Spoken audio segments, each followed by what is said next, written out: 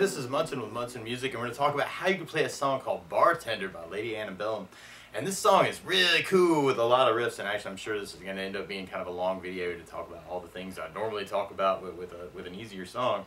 Um, but we're going to start off with kind of that opening riff, actually. It kind of starts on the second fret on the A string. And we do that three times, and we can play open E, second fret on the low E, and then open A, which is kind of a cool little riff, kind of that two, two, two, the two on the A three times, and we do open A twice. So that whole riff, you got kind of a B, B, B, E, F sharp, a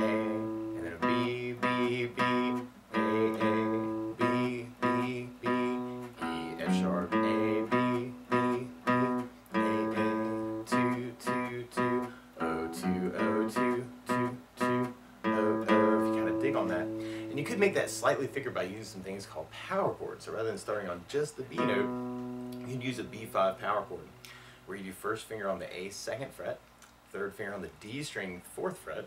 And if you strum just the A and the D strings together, that sounds a B5 power chord, which sounds really, really powerful. So we want to kind of back up that B note with that idea. And then for the E note, you could play an E5 power chord by doing first finger on the A second fret with the open E. It's kind of an E5 power chord. And then we could go to an F sharp 5 power chord, first finger on the E second, third finger on the A fourth. And then we could go to an A5 power chord. You got open A and second fret on the D. So you can kind of back that whole riff up with power chords if you wanted to. Kind of a B, B, B, E, F sharp, A, B, B, B,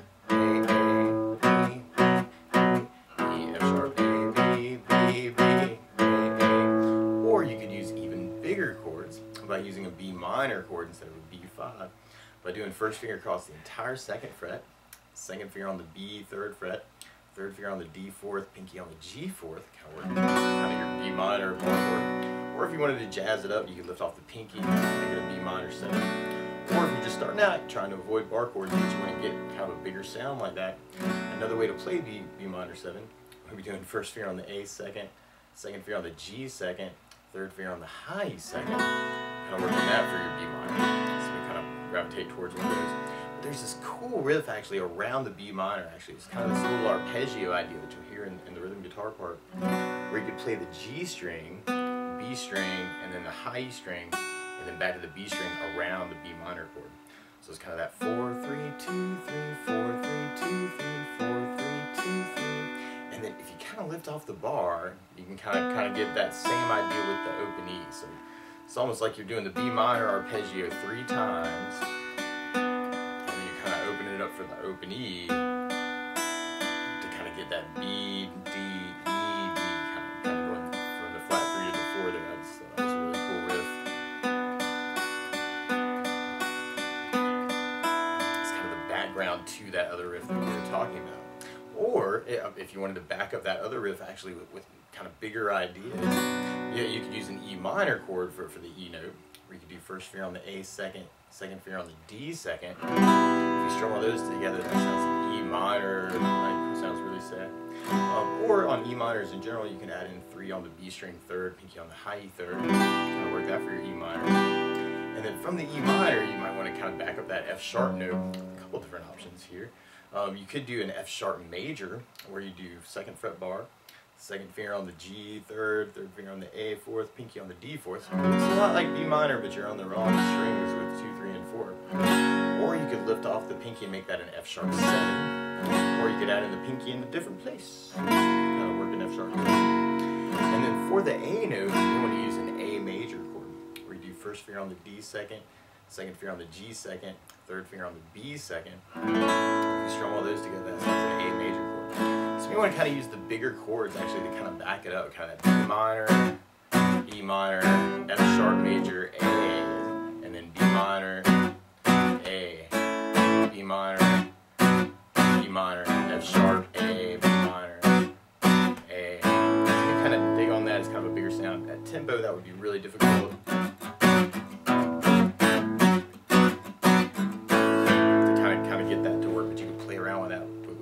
Strummings. And actually through that part, if you wanted a really easy way out strumming wise, you could just take the B minor and just kind of stay on the B minor and not even worry about the licks. And you may want to gravitate to kind of an eight down idea. One, two, three, four, five, six, seven, eight with the right hand. Da da da da da da da da and kind of just back it up around the B minor. Or another way to do it would be kind of thinking of it as the B minor kind of for four or eight A change if you want to kind of back it up to the A.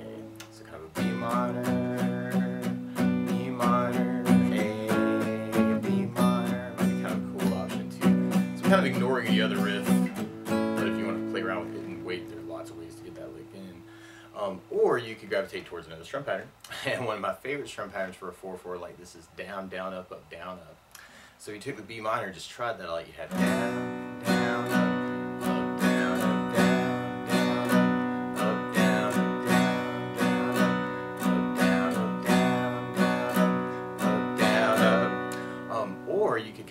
that A change if you kind of dig on this. You could do the B minor with the whole pattern,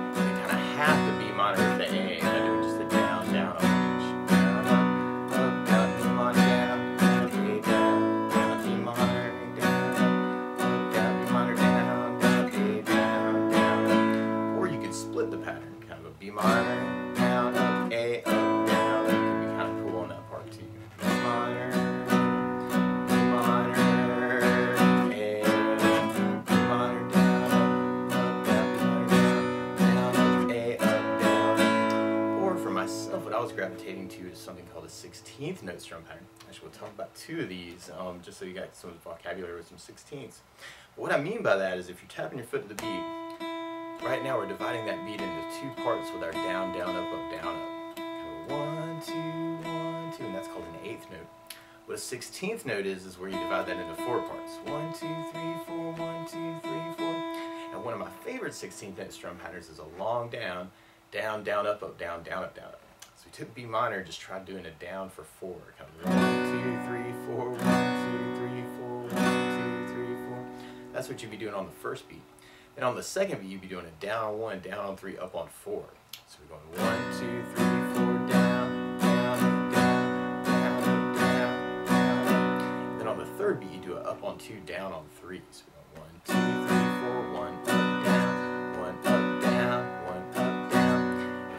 last beat, you go down, up, down, right along with the one, two, three, four. So down, down, down, down, down, down. So all together, you got down, down, down, down, down, down, down, down, down, up, down, down, down, down, down, down, down, down, down. And when you get to that B minor A, if you want to make that change, you could just do the long down, down, down, up on kind of tricky at tempo, kind of minor, down, down. That might be kind of a cool thing to kind of practice. Minor, down, down. Or there's another 16th pattern you may want to play around with through the tune. Actually, I was really gravitating towards this, where it's a down, up, up, down, up, up, down, up, down, up 16th note pattern. And what I mean by that is on the first beat, you do a down on one, up on four. So we're going one, two, three, four, one, two,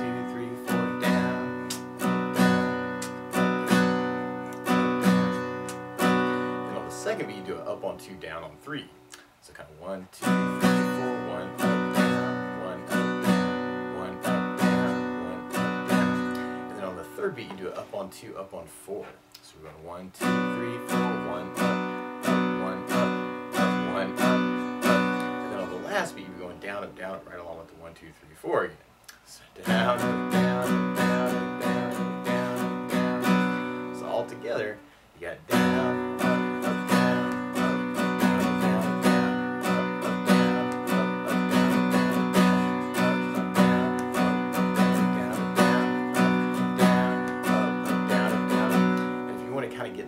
on that, on that last B minor, you may want to go down, up, up, down, and then go to the A for the up, down, down, up, down, B minor,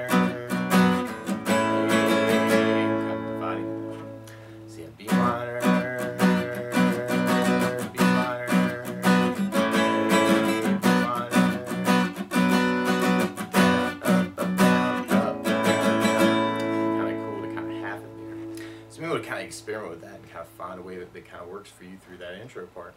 And then from there, then we go into our main verse. Our main verse actually keeps that idea going, but at the very end, well, we kind of go to a G major chord. When we play G major, first finger goes to A on the second fret, second finger on the low E third fret, third finger on the high E third fret. If you strum all those together, that sounds a G major chord and it sounds really happy. You may also want to think about putting the third finger on the B third, pinky on the high third. Kind of working that finger G major, it sounds really, really happy. And then we kind of go to our whole pattern on an A, and we go back to kind of our intro idea, kind of, kind of twice through, and then we go back to our G major, and then we go to our F sharp major. Now you could really use any of those strummings through that whole part, kind of that verse with the B minor, B minor, B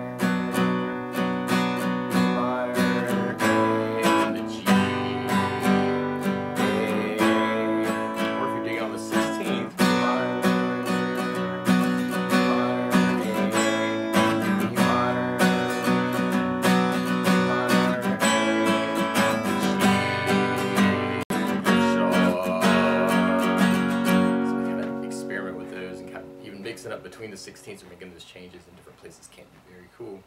And then from there we go into our first chorus. Our first chorus starts on the G major, but then we go to a D major chord. We play D major.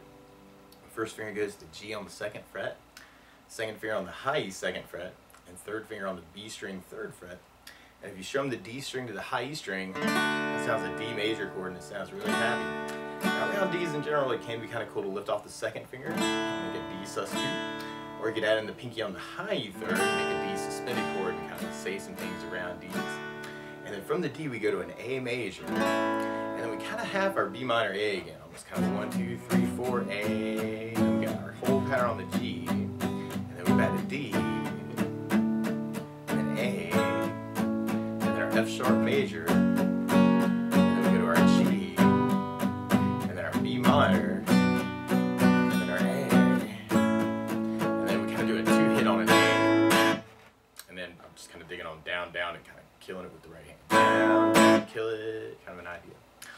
if you're digging on the 16th pattern, you could kind of even mix up between those kind of.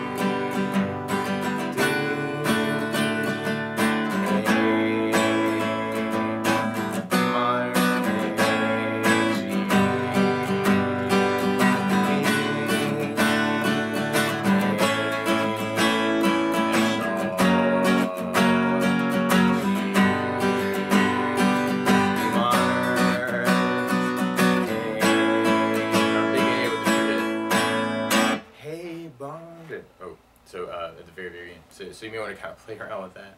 And then from there, we go back into kind of an, an, our intro idea kind of comes back through. Now, one other thing you may want to think about adding to this song, though, is bass notes. And a lot of times on that first down of the down, down, up, up, down, up, you can throw the bass for the chord. So on the B minor, you'd have the A for the bass. On the A, you'd have the A for the bass. On the G, you'd have low E for the bass. The E minor, you'd have low E for the bass. On the F sharp major, or the F sharp 7, you'd have the low E for the bass. Chord for our chorus, we have the D for the bass. So we could even work that into kind of our intro, actually, kind of working that B minor with the bass, down, down, B minor with the bass, down, A with an A bass, B minor, B minor bass, down, A bass, down. Or if you're digging on the 16th pattern, you could work it as a bass, down, down, up,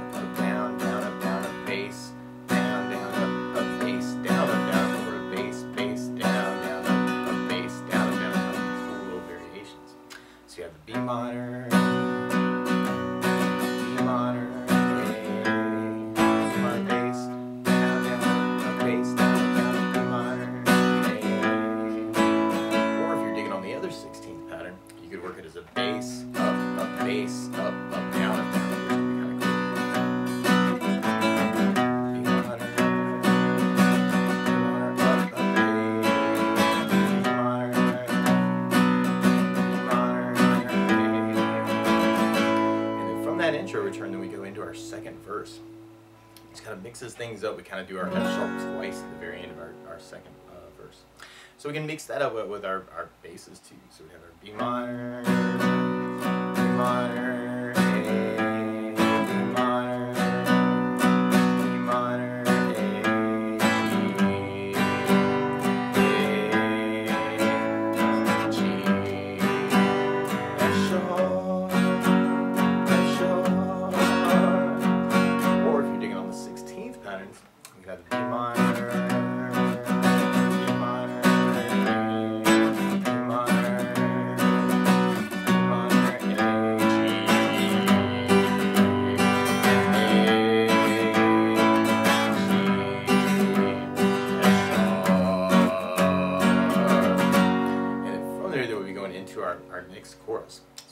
basis to that too. Yeah, kind of G,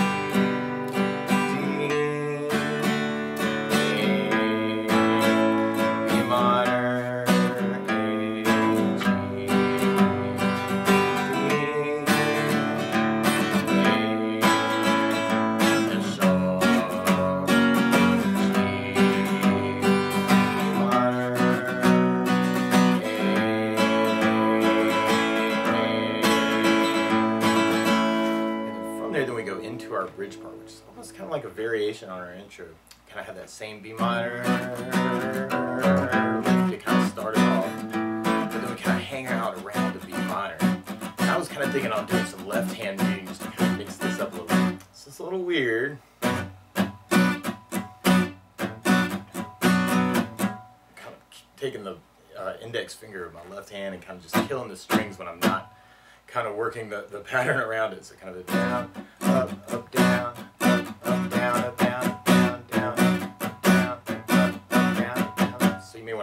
lift that finger and just kind of kill some of the strings. Might be kind of cool. And we do that three times for our regular B minor. And we kind of have a big hit on B minor before we go into our guitar solo. And on our guitar solo, it's kind of like a little variation of our chorus. Actually, we got kind of a G,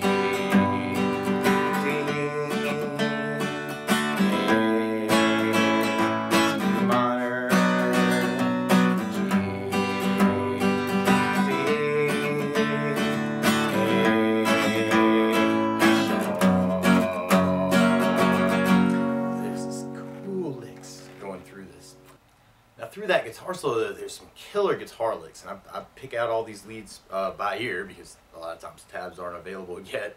Um, so, but but I really think this is pretty close actually. You kind of start off on the ninth fret on the D, and then go twelfth on the D, and then back to nine on the D, and then eleventh fret on the G is kind of a bend. So I'm kind of playing that note, taking the first finger, second finger, and the third finger actually, lined up 9, 10, 11 to kind of bend that note, and then we play it again.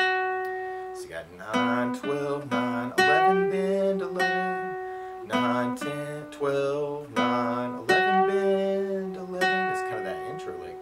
And then from there, actually, there's this really cool lick where you could kind of start out on 11th fret on the G and do a pull off back to 9 after we play it three times. Let's see, 11, pull off to 9, and we play some 9 some more. And then we slide that to 7, and then we slide that to 6. Down to fourth fret and second fret. And you may want to set this up beforehand, kind of first finger on the G second, third finger on the G four to do a pull off from four to two. So I'm kind of playing the fourth fret on the G, letting my finger fall to the ground to kind of get the sound of carry.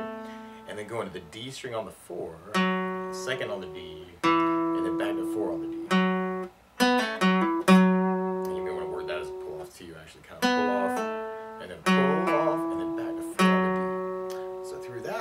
part, you have kind of that 11 to 9 to 7, 6.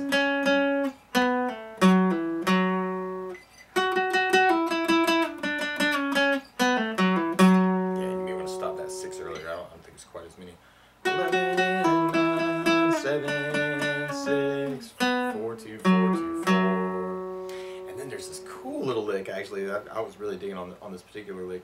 Kind of like a little box pattern on it, where you have 10 on the B, 12 on the B, 12 on the high E, 12 on the B, 10 on the high E, 10 on the B, and then 12 on the B, 10 on the high E, and then back to 12 on the B. It's kind of weird. You may want to use some finger roll ideas. Like when you start that off, you can do 10, 12, and kind of roll the third finger to the 12 on the high E for the two 12s, and then the 10 on the high E, and the 10 on the B could be kind of a first finger bar, mini bar idea. Everybody loves mini bars. Um, and then you got 12 on the B, and then 10, and back to 12. So it's a little weird. You may want to play around with that kind of 10, 12, 12, 12, 10, 10, 12, 10, 12. Tw- 10, 12, 12, 12, 10, 10, 12, 10, 12. It's kind of a crazy cool lick.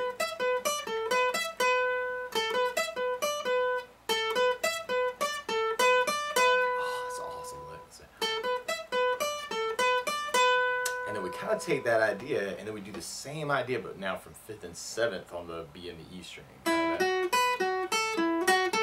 then we end it by going seven on the G string. So it's almost the same lick though, kind of five, seven, seven, seven, five, five, seven, five, seven on the G. And then we end with kind of almost like a little AR arpeggio idea, where we do 12 on the A string, and then mm. 9 to 11 is a hammer on on the D, and then 9 on the G, 10 on the B. And all those are kind of notes around a C shape of an A for an A major chord, which is kind of cool. 12, 9, 11, 9, 10, and then we go back to 9 on the G, 12 on the B, 9 on the G, and then we bend 12 on the B string. It's an awesome little lick there too.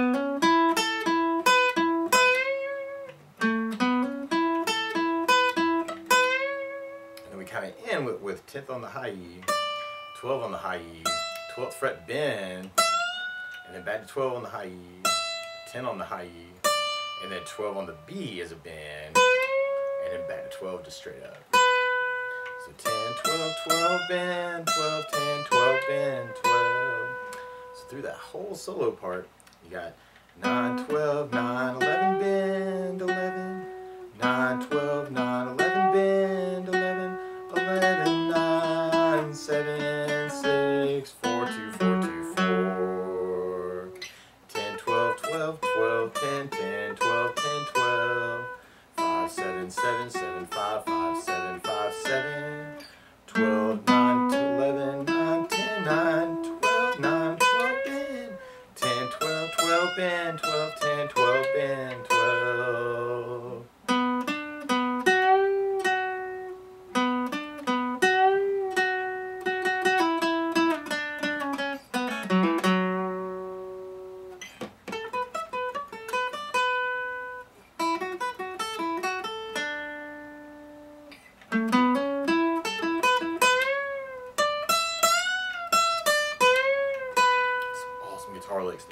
to play around with that. And then from there, then we'll be going into our last chorus. So we're back to our D, and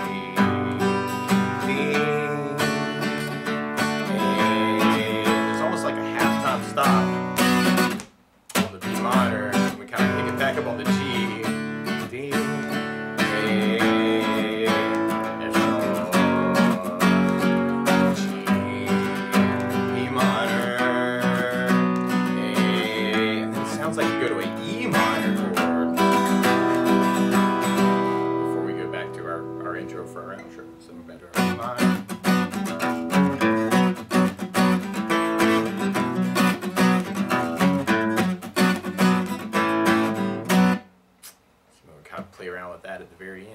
That's the basics of how you get strummed through Bartender by Lady Antebellum. So good luck!